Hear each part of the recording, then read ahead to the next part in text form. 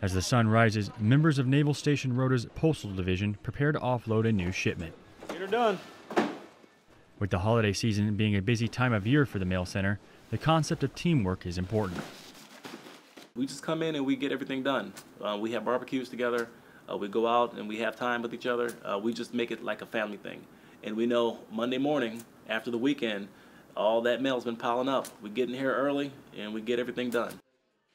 Even though people tend to forget about utilizing the post office, AG explains that sometimes it's the only way. Right now, it's hard for people to learn how to write letters anymore because we have email, we have Skype, we have FaceTime, Facebook, um, Yahoo Messenger, all this stuff. But remember, when you want to get grandma's cookies here, you can't email that.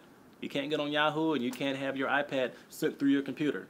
It has to come through the mail, and that's why we're here. As long as you keep that in mind, it will be here for you all the time. Lance Corporal Tony Nardiello, Rota, Spain.